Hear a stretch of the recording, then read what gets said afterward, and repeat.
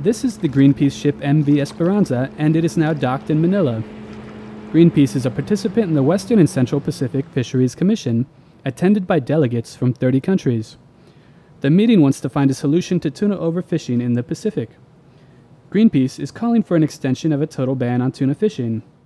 And that's to protect not only the, the ocean and the fisheries themselves, the fish stocks themselves, but also to make sure that the fishing industry has a future, including the, the Philippine fishing industry. The WCPFC banned tuna fishing in certain pockets of the Pacific Ocean to protect the population of yellowfin and big eye tuna. The Philippines was granted a special four month access to High Seas Pocket 1, an area bounded by Papua New Guinea, Micronesia, and Indonesia. The exemption aims to keep Filipino fishing vessels out of local waters to replenish the badly depleted stock of local tuna. During the total ban in 2010, Filipino fishermen resorted to catching juvenile tuna within Philippine waters.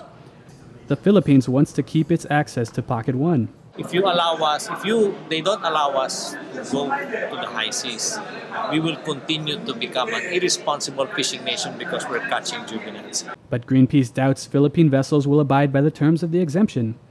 Last month, Greenpeace caught the Filipino vessel Sail 19 and two other Indonesian vessels illegally transferring frozen tuna to a Cambodian vessel.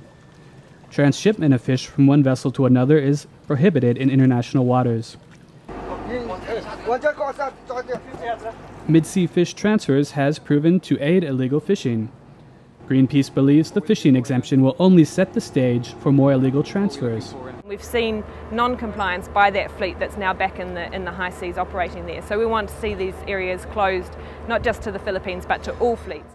Pew Environment Group says there are gaps in the enforcement by the International Fishing Regulation Body.